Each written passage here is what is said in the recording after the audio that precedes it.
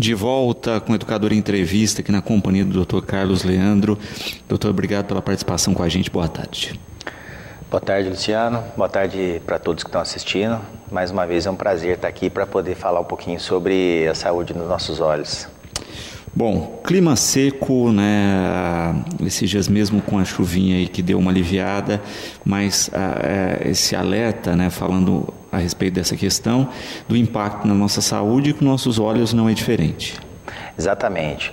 É, essa chuva que nós tivemos ontem, na realidade, não, não ajudou ainda em nada, né? Continua o clima muito seco e o clima seco é, falando na saúde dos olhos, é um clima em que a, a ardência nos olhos, associado às conjuntivites alérgicas, associado às irritações palpebrais, é, são muito mais frequentes. É, então fica o alerta aí para o clima seco na, no aumento da hidratação e da higienização dos nossos cílios, dos nossos olhos, para que os sintomas do, olho seco, que é mais frequente nessa época, sejam menores. Uhum. E ah, quando se pensa nisso, né, ah, a gente sabe que a cada período, a cada estação, a gente tem tendências a algumas enfermidades, algumas doenças. Com nossos olhos não é diferente. Nesse né? clima, a gente fica propício a quê? Exatamente, né? É, é, a gente tem basicamente duas estações do ano aqui no, no, no Brasil, né? A gente tem a quente, chuvoso e frio e seco. Esse ano a gente está tendo o clima mais seco, menos, desculpa, menos frio, né? Então a temperatura não está tão fria. Porém, o clima seco favorece o aumento das irritações oculares e das alergias oculares. Quando a gente diz alergias oculares, é, na realidade, a gente está falando das impurezas que ficam no clima seco, associada à poluição, às queimadas e, e, e a diminuição da hidratação no olho, fazendo com que o olho seco, que é a patologia mais comum, seja mais frequente, e também as conjuntivites alérgicas, né, associado ao olho vermelho. Então essas, essas duas basicamente são as doenças mais comuns do clima seco. Olho seco e as conjuntivites alérgicas. Uhum. E a Vanessa colocando a respeito dessa questão, né? um olho avermelhado, né? Como avaliar se é simplesmente uma alergia ou se está aí com uma conjuntivite? É, exatamente. Na realidade, é, qualquer alteração nos nossos olhos, que seja um processo alérgico ou inflamatório, é, vai ocasionar um olho vermelho, né?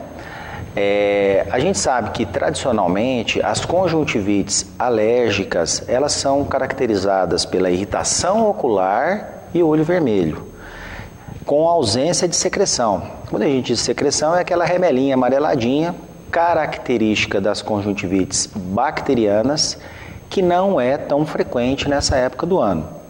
Então, diferentemente das conjuntivites bacterianas, as conjuntivites alérgicas não são cometidas de secreção. Uhum. Basicamente, essa é a diferença.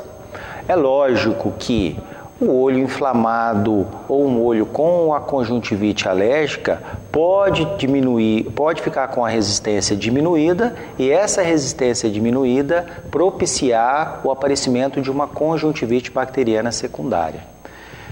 É, em resumo, o que a gente orienta sempre nessa época é uma consulta oftalmológica para a pessoa saber como está a saúde do olho e receber as orientações mais adequadas para enfrentar esse clima seco e mais frio de, da maneira mais adequada. E a Vera colocando uma questão interessante. A Existe algum cuidado com os olhos dos bebês e a partir de que momento a gente percebe uh, ou pode perceber que tem alguma coisa errada nesse sentido?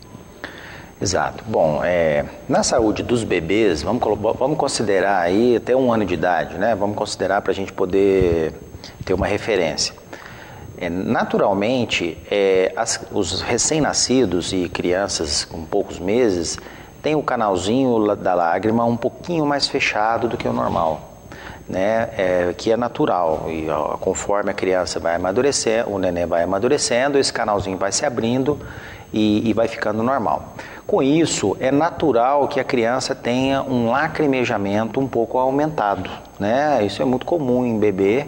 a gente notar que o, a criança chora muito facilmente. Uhum. Com isso, a hidratação do olho ela é um pouco melhor. E, a, e o recém-nascido é, sofre menos efeitos desse clima seco. Então, de uma maneira geral, no recém-nascido a gente não tem que ter cuidado nenhum especificamente é, em relação ao tempo seco. O que a gente tem que ficar atento é se eventualmente esse lacrimejamento for aumentado, né, por conta do canalzinho lacrimal ser mais estreito, e tiver o aparecimento de secreção, parecendo uma conjuntivite, aí sim o oftalmologista deve ser, deve ser consultado para que haja uma avaliação um pouco mais específica. Uhum. Ah, também ah, se tem sempre que ter essa atenção do que tem de muito diferente, né? Porque, querendo ou não, olha, tá na rotina, tá percebendo isso, não precisa também se alarmar, né? Exatamente. É, a, a, os casos da, de conjuntivites alérgicas ou irritações, irritações oculares específicos da, da época do clima seco, geralmente não estão relacionados com gravidade. Né? É, são sintomas que às vezes atrapalham um pouco a qualidade de vida nossa no, no dia a dia. Né? Então, os, os tratamentos, na grande maioria, são para amenizar os sintomas, identificar o que pode estar tá causando, para a gente tratar e a qualidade de vida ser um pouco melhor nessa época que é ruim para todo o organismo, respiratório, é, é, do, do, organismo, tem, pele seca. Então, de uma maneira geral, é isso que a gente tem que fazer. Perfeito. Ludmila, parabenizando aí pelas informações e colocando o seguinte: a maquiagem, né, em especial a maquiagem para os olhos, pode causar alguma alergia ou algum risco? Exato, essa é uma pergunta bastante interessante é, a maquiagem, na realidade, ela não tem problema uma, na maioria das vezes. O problema é quando a gente não retira aquela maquiagem que foi usada. É, algumas pessoas podem ter alergia da maquiagem e aí os sintomas de irritações são pelo, pela alergia. Nesses casos, essas pessoas devem optar por produtos anti-alérgicos. Para as pessoas que não têm alergia da maquiagem, o mais importante fica: pode usar a maquiagem normalmente, mas chegou do, ambiente que estava, que usou a maquiagem, perdeu um tempo com o, a retirada da maquiagem, com o uso do demaquilante, né? E a maquiagem é água o demaquilante ou produtos específicos para higienização mesmo. Uhum. Não adianta só passar um, uma gaze ou passar algum produtozinho só para limpar. É preciso que haja uma higienização mais acentuada mesmo para que a maquiagem seja toda retirada e impedindo que haja problemas do acúmulo da maquiagem ali nos nossos olhos. Porque eh, não é nem só a questão da própria maquiagem, né? mas ela vai eh, ajudar a aderir poeira e outras coisas. Exatamente. Então, aqueles restos de maquiagem que acabam ficando, eles vão formando uma, uma, uma, uma caspinha, uma, uma, uma sujeira mesmo no olho, que juntamente com a oleosidade da pele e as sujeiras da, do ambiente dessa época do ano, provocam às vezes inflamações, é, aqueles terçol terçóis de repetição uhum. que as pessoas acabam tendo e inflamações às vezes de blefarite, né? Ou até mesmo conjuntivites bacterianas em decorrência do acúmulo de sujeira das maquiagens. Uhum. A Ana, né, ela disse que, a gente citando maquiagem aí, que ela está com um tipo de bolinha no olho, né, principalmente onde passa o lápis. E ela disse que tem notado que o volume está aumentando. Ela pergunta como proceder, se é necessário retirar. Então, normalmente, é, essas bolinhas branquinhas que acabam formando ao redor dos cílios é o que a gente chama de terçol. Nada mais é do que um, um processo inflamatório na glândula lacrimal que foi provocado pelo entupimento da glândula. Esse entupimento pode ter sido causado por maquiagem, por exemplo, ou por alguma sujeira, que é o que a gente estava falando agora uhum. mesmo, é, na região das pálpebras e, pálpebras e dos cílios. A grande maioria dos casos é falta de uma melhor higienização dos cílios dos nossos olhos no nossa higiene, no nosso higiene normal, no nosso banho normal. Essa bolinha, na grande maioria dos casos, ela some espontaneamente, através de compressas de água quente, por exemplo.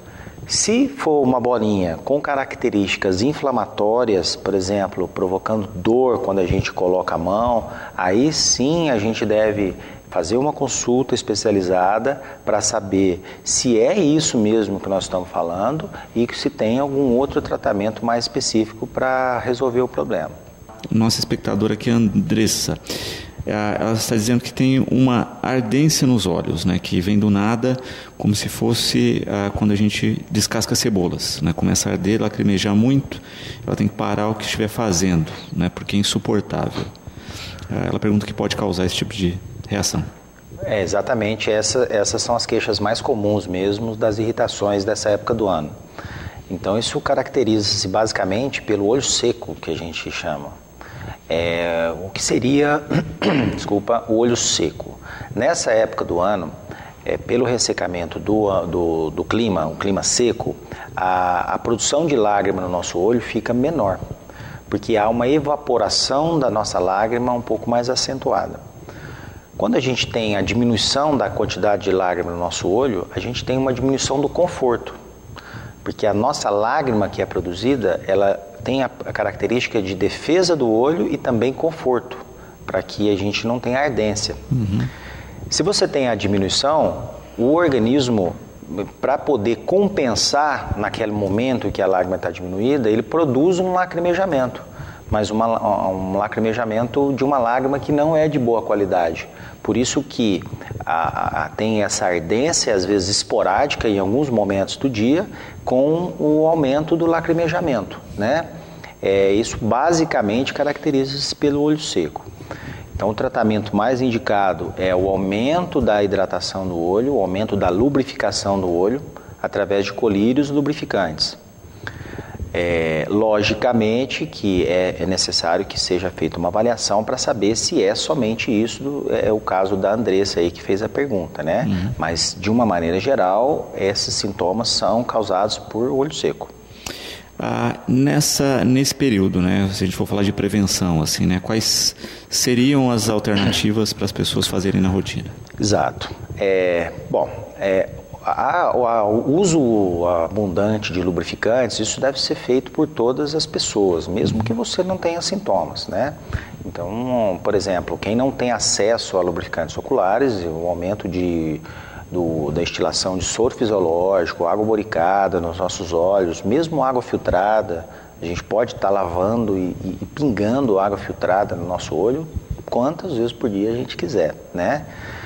E a gente recomenda também que durante o banho, na, na, nossa higiene normal do dia a dia, é quando formos lavar a cabeça, por exemplo, e a gente estiver enxaguando, é passar a mão sobre os olhos e tentar dar uma higienizada bem adequada nos cílios para que a gente retire aquelas impurezas do dia a dia.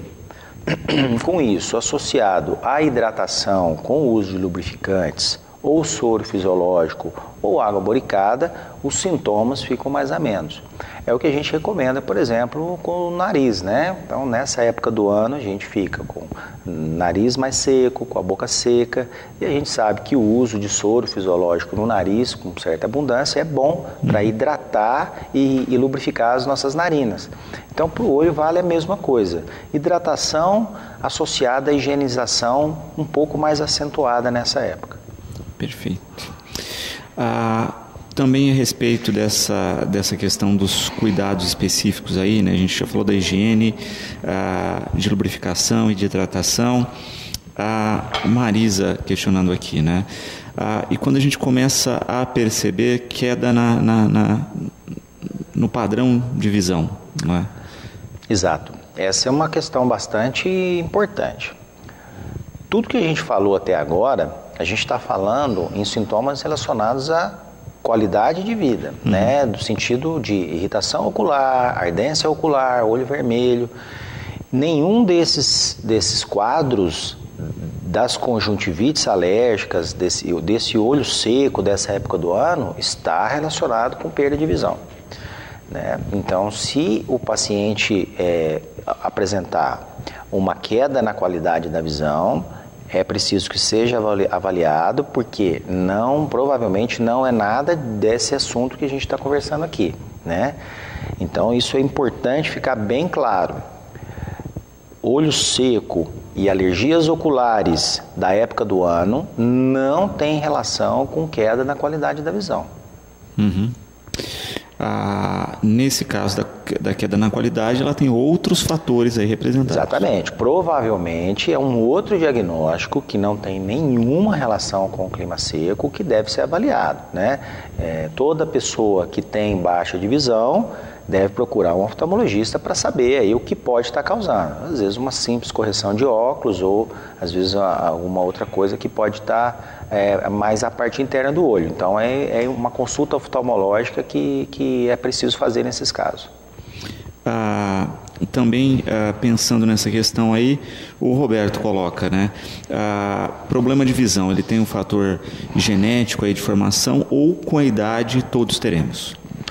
Exato. Nesse caso, é, os dois, os dois, os dois, as duas causas podem ser, podem estar relacionadas.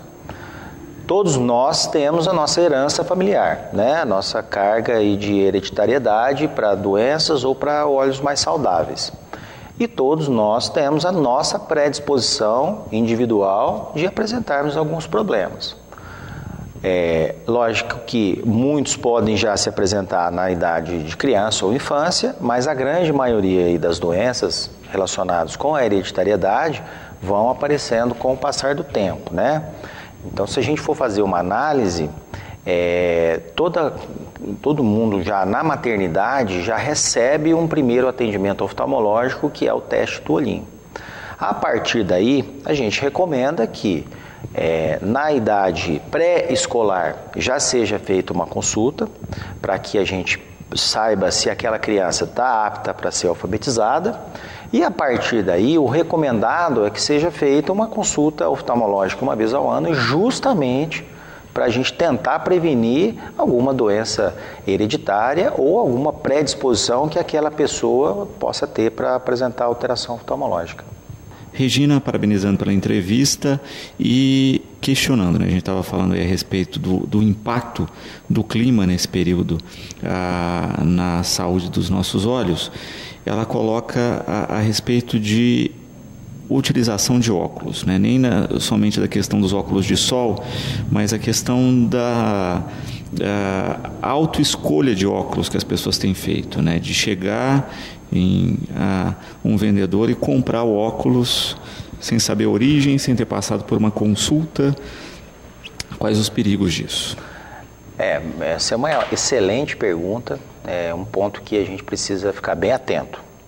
Então vamos lá, vamos dividir em dois, dois aspectos: o óculos solar e o óculos de grau. Né?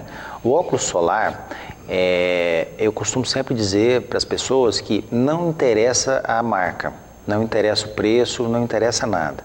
O que interessa é a procedência daquela lente, uma lente que tenha sido feita com procedência boa, e o, o filtro ultravioleta, né?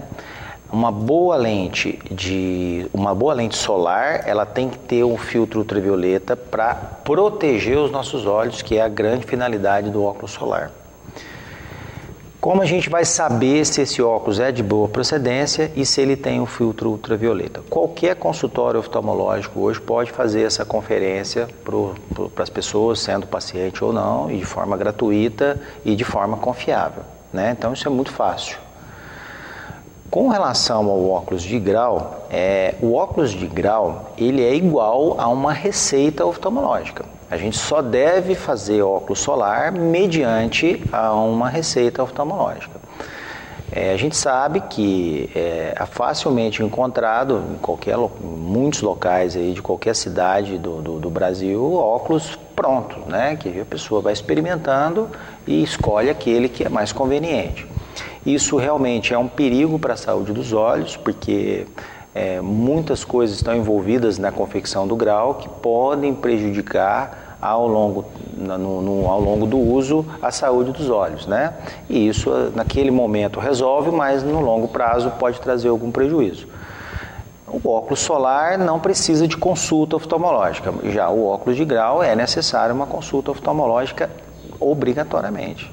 Uhum. Mas tem que ter esses cuidados, né? É, o que a gente fala que o grande problema uh, do brasileiro ainda é a automedicação, né? A gente percebe o número de pessoas que têm complicações da saúde e que morrem, né, em função de automedicação. E isso é similar à automedicação, né? Você Exatamente. Comprar... A gente, é, falando de comprar óculos sem receita, é automedicação, nada mais é do que isso, né? É, e essa é a cultura mesmo nossa que a gente tem que, ao longo do tempo, tentando mudar isso. Né? A gente sabe que, às vezes, por questão de tempo, por questão de preço, às vezes a gente acaba indo aonde é o mais barato. Mas a gente tem que fazer essa conta. O barato quase sempre, quase sempre sai muito mais caro, né? E às vezes quando a gente vai correr atrás, já pode ter ficado algum prejuízo na saúde dos nossos olhos e às vezes esse prejuízo é irreversível. Uhum. A Alessandra aqui, né? Ela parabeniza pela entrevista. Queria que o doutor falasse um pouco sobre pterígio.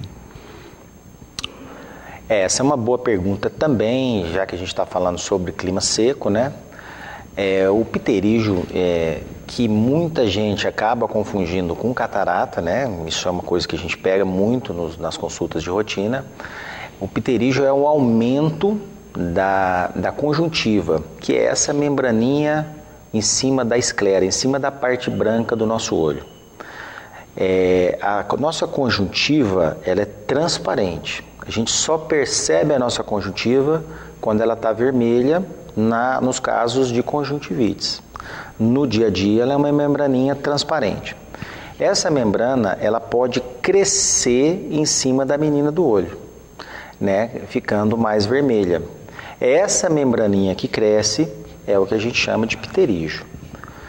Nessa época do ano, que é uma época mais seca, pelas irritações do clima, essa pelinha às vezes pode ficar mais exposta e trazendo mais irritações para a saúde daquela pessoa que tem o pterígio.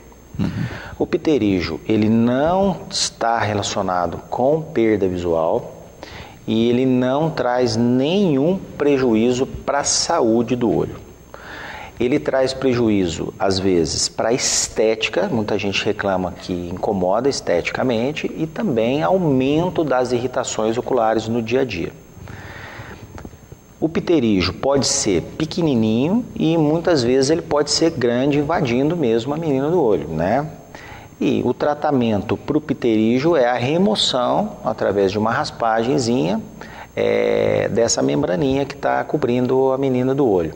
É um procedimento relativamente simples, de um pós-operatório também bastante tranquilo, né? Então, diante da consulta oftalmológica, baseado no, no, tamanho do pterígio e nas queixas que a pessoa tem, a gente pode indicar ou não a cirurgia. Perfeito. Doutor, eu quero agradecer imensamente a presença, espero que os esclarecimentos aí ajudem os nossos espectadores e deixar sempre disponível o espaço aqui no programa. Bom, eu que agradeço mais uma vez o convite, né? É sempre gostoso aqui estar tá podendo falar aí dessa, dessa parte aí, saúde dos olhos. Sempre que, que eu for convidado, vai ser um prazer estar por aqui. Maravilha. Bom, nós vamos a um breve intervalo. Na sequência, nós vamos falar das ações do projeto né, do Espaço Cultural Fernando Faro. Voltamos já.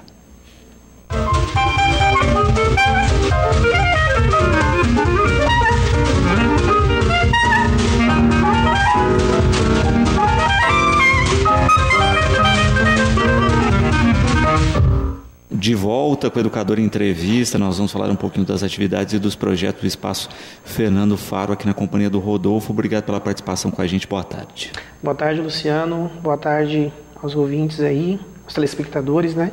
É, agradeço a Educadora novamente pela oportunidade e divulgar o nosso próximo projeto aí para o semestre que se inicia.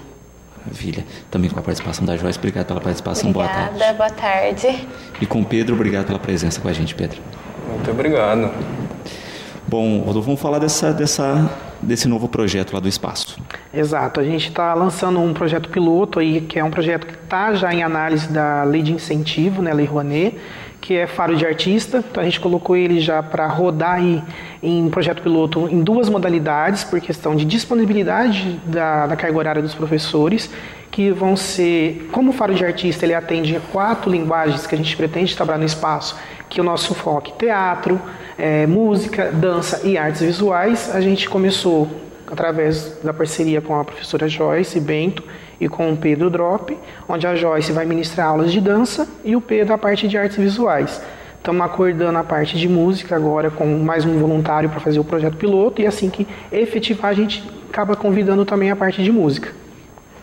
Então é um projeto piloto que inicia agora já nesse mês de agosto, a gente começa já nesse sábado, já as inscrições estão ocorrendo desde a semana passada, mas durante o, o mês todo de agosto as inscrições estão abertas tanto pelas redes sociais, depois no final deixo meu celular de contato também, ou no local, no espaço cultural, nas quintas-feiras que estão abertas e na, no sábado e domingo também.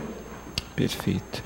E Joyce, é, hoje a gente percebe né, a, a dimensão da procura por atividades culturais na cidade. Né? Quando a gente ah, fala dos projetos, por exemplo, ligados à música, né?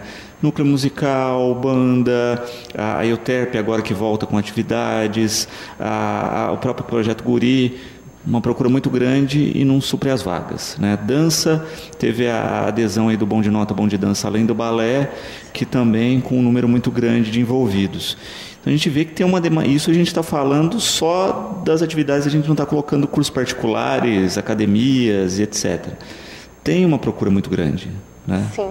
Eu acho que proporcionalmente é, é, a cidade é muito rica nesse sentido, né? do quanto as pessoas se interessam por fazer essas atividades. Sim, é, é muito importante essa, essa essa perspectiva, porque é, nós trazemos as crianças e os adolescentes é, por meio da arte, né? É, e, e, essa procura muito grande é muito importante.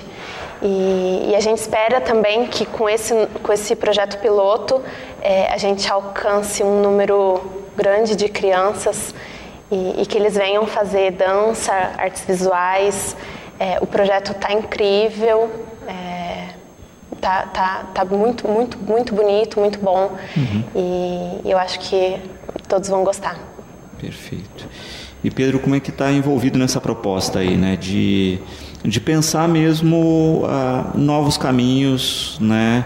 Uh, enquanto atividade e tentando essa ação aí via, via Rouanet. Bom, a, a ideia da, dessas aulas é estar tá mostrando um pouco das linguagens das artes visuais Nada muito a fundo, porque não vamos. É, a ideia não é formar pintores, escultores, mas sim dar uma fomentada sobre isso e estimular eles. E em contrapartida eu trago algumas oficinas também que, que eu trabalho já, tanto quanto o machê, as confecções, né, da pintura não só na tela em si, mas em outras superfícies. E essas ideias que eu venho, que a gente vai estar tá trabalhando com, com essas crianças agora, é esse olhar. Bom, vocês estão tentando aí, né, como vocês colocaram, implementando essa primeira parte do projeto e aguardando a questão da Lei Rouanet. Né? Exato. O projeto, na verdade, a gente está na última etapa dele de, de adequações necessárias dentro do plano orçamentário que é estipulado. É, e depois, sendo a aprovação, vem uma outra etapa que é a captação de recursos. Uhum. Então a gente falou assim: ah, vai ficar seis meses parado. A gente está tendo uma certa demanda que, durante o início do semestre, teve alguns pais procurando. E como a faixa etária do teatro era uma faixa etária um pouco maior, de 9 a 13 anos, a gente procurou reduzir pela demanda que a gente estava tendo de procura, que era a partir dos 7 anos. E aí a gente, é, entre o grupo, a equipe, né, a coordenação, tudo, a gente achou melhor fazer um projeto piloto para ver o que, que a gente vai ter de adversidade nesses seis meses agora, né, nesses cinco meses, para já implantar, porque o projeto Fara de Artista, na verdade, ele vai ser durante a semana. Uhum. Então é contra a túnel escolar, você vai ter a opção de deixar seu filho a manhã toda com a gente no espaço, não é só uma hora e meia, duas horas, como ocorre em alguns projetos. Então a gente está tentando adequar de uma forma para suprir, realmente virar o, a, a função social do espaço cultural, que além de cultural, ele é educacional, então é levar isso também um projeto de iniciação ao artista, por isso o Faro de Artista, de desenvolver na criança de 7 a 13 anos a sua melhor aptidão e, e também trabalhar, além disso, tem um contra, contra proposta que são disciplinas na área de gestão para essa criança. Uhum. Como que eu vou trabalhar a criança a questão da economia? Porque eu, quanto artista, eu vou ter o meu cachê. Como que eu vou direcionar esse meu pagamento? Como melhor distribuir? Porque a gente vê hoje alguns é, profissionais artísticos que têm uma certa dificuldade com relação à parte financeira também. Então, o projeto ele vem justamente isso, para iniciar a criança nesse segmento cultural, paralelo com a sua atividade complementar também. Uhum. Ah, uma coisa importante também a se destacar é a questão da própria Lei Rouanet, né? porque a gente vê aí uma chuva de absurdos na internet ah, a respeito da lei. Né? Eu acho que é importante esclarecer isso para até desmistificar um pouco do volume de fake news que se tem em cima disso. Né? Porque direto a gente tem artista tal conseguiu um milhão e meio, conseguiu dois milhões, né? Pablo Vitar vai fazer um programa infantil na Globo com incentivo da Lei Rouanet. Gente, não divulgue isso, você não sabe a fonte, você não sabe a ação, você não sabe o motivo. Né? 99% dos projetos da Lei Rouanet são bons projetos, não tiveram problema de fiscalização, ah, houveram problemas pontuais com desvio? Houveram. Né? Assim como tem na educação no país, assim como tem na saúde. Só que ninguém fala de fechar a escola quando se tem uma irregularidade. Né? Fala, olha, achamos um problema de corrupção na educação, vamos fechar as escolas. Né? Ninguém fala de fechar posto de saúde, de fechar UBS, né? quando se acha problema de corrupção na saúde. Mas falou de cultura, não, vamos acabar com a Lei Rouanet.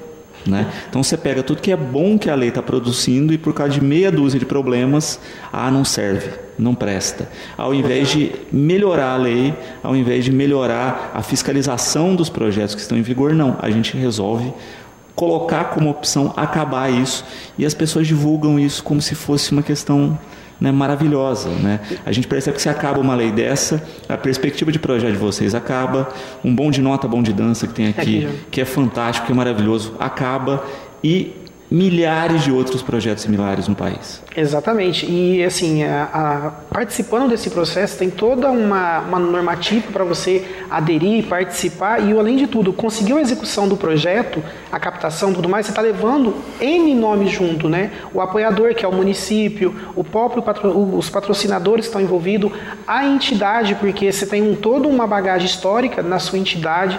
Já eu lembro que alguns colegas profissionais da contabilidade, às vezes alguma crítica que eles faziam à entidade tudo mais, a questão da contabilidade talvez mais simplificada e pelo contrário, você realizar a prestação de contas de uma lei Rouanet ou do PROAC, por exemplo, do Estado de São Paulo, é absurdamente complicada, tem muitos anexos, muitos adendos e algumas particularidades, então você tem que estar um profissional só para estar olhando todos os dias alguma normativa, alguma alteração. Então é muito sério esse processo independente, como se é uma matéria dos mamadores né, da, da Lei Rouanet aí, com relação a milhões que estão sendo investidos em musicais e tudo mais. São perspectivas de região também. A gente tem que analisar, nós estamos no interior de São Paulo, a gente faz primeiro uma análise da nossa demanda, de quais são os potenciais patrocinadores ao município, a vertente que ele tem, se é o lado social, que ele quer atingir algum projeto específico no social ou a um artista já de renome.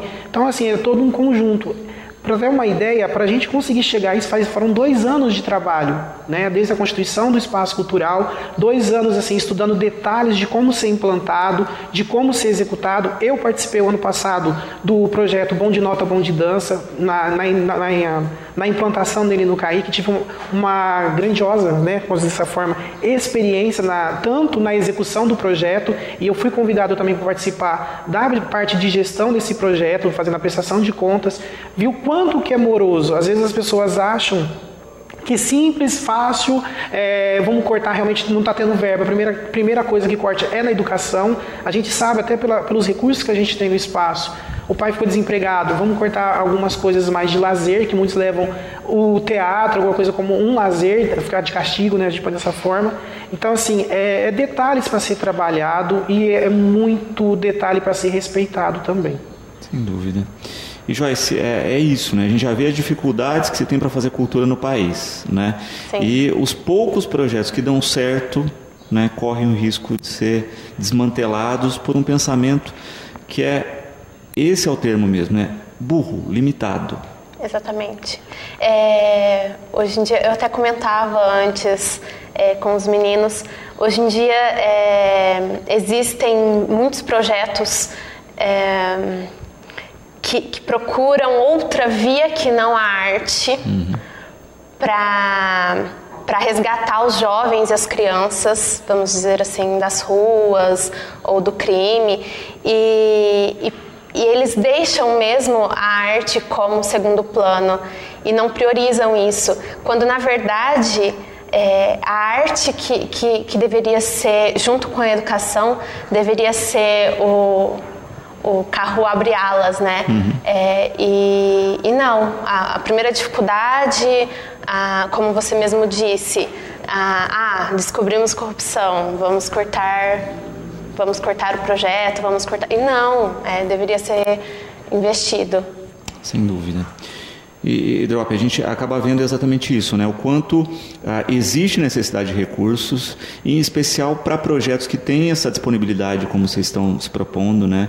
fazer contraturno, né? A, a auxiliar nesse desenvolvimento aí da sensibilidade de crianças e de adolescentes que ah, às vezes não teriam espaço nesse contraturno, né? Ah, terão espaço produtivo e, e que bom que aí, ainda há esse tipo de resistência para esse tipo de produção, né? É, com certeza. A luta, é, eu acredito que sim. É, eu, né, particularmente com o pouco que eu convivi até agora, ainda vejo que tem muito a ser feito, há, há muito que combater, é, particularmente nem é, eu venho do, de uma cultura de rua, não é um negócio acadêmico, então assim eu vejo o preconceito em cima de tudo isso e quando a gente fala de arte dentro da escola, de dentro da educação, é a única coisa que tá, pode estar atrelada a todas as outras matérias e, e em cima de tudo trabalha com sentimento. Uhum. eu tinha uma professora que gostava de falar que a gente trabalha com filé mignon, né? Da, da cultura, da, da educação. Então, e não é, é, não acho que não se dá o devido olhar e o respeito a tudo isso, porque em primeiro a gente trabalha com o sentimento, muito com o coração e, e sair um pouco desse, desse padrão que a gente é acostumado de estar tá inserido, né? De tudo muito. Você tem um, um cronograma a seguir e a gente está fora disso. E eu acho que isso que nos alimenta. Enquanto tiver cabeças que pensam assim, a gente vai estar. Tá incentivando e mostrando, porque esse, esses jovens que estão vindo, se não tem esse ar para respirar, eles vão se perdendo o que está mais próximo a eles, o, o, o, que fala mais alto ali da realidade. Então, a, o nosso dever é estar tá mostrando, pelo menos esse caminho. E, e é, o caminho é esse, né? Eu acho que a luta é essa. Nessa fase 1, né, vocês estão fazendo por conta, ah, então vamos dizer que é um piloto do projeto, né, que não tem o fôlego que terá. Exatamente. É uma base teste, como a gente está chamando lá dentro do projeto.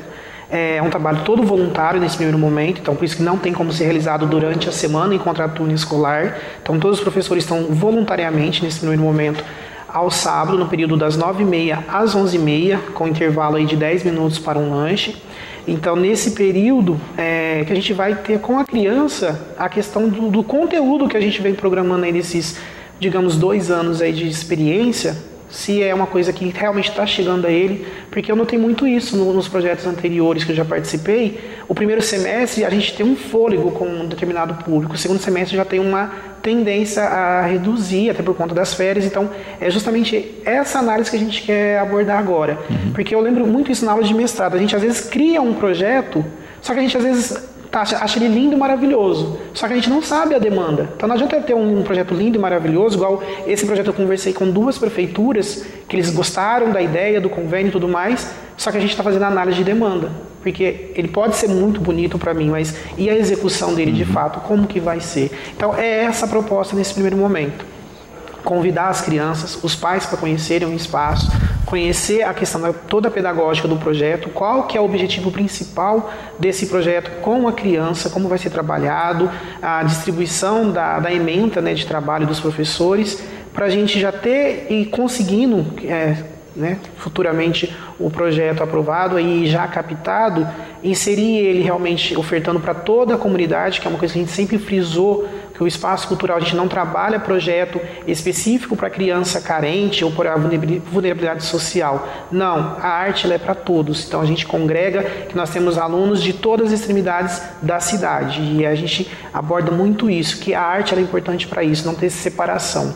E é isso que a gente quer implantar no projeto, conviver com a criança nessas duas modalidades inicialmente hoje, porque a gente já tem a experiência já de, de nove anos praticamente com as oficinas de iniciação teatral e agora entra as duas modalidades que nós até então estamos iniciando. Perfeito. Para as pessoas que tiverem interesse, quiserem participar, como é que funciona a questão das inscrições? Ok, as inscrições estão sendo feitas pelas redes sociais, né, no caso pelo Facebook. É, lá tem o link para você fazer inscrição online, para não ter que ir até o local no espaço na Avenida Moacir Dias de Moraes. Então você pode fazer pela internet. O meu celular eu encaminho também pelo WhatsApp o link para você fazer o cadastro do seu filho, filha, que é o 16 9 9191 9078. Então aí vocês façam a inscrição, automaticamente ao término vem a mensagem que foi inscrito com sucesso e a cada três dias no máximo você recebe a devolutiva informando essa questão de quando iniciará o curso, o horário, mais ou menos a vestimenta necessária para fazer a aula, o primeiro contato. As lições também estão sendo feitas na quinta-feira, que nós temos é, um encontro com chama a questão de trabalho de poesia, que é o Ceciliando. Então, das 8 às 9 e meia nós estamos lá no espaço. Pode também procurar a gente pessoalmente para fazer inscrições.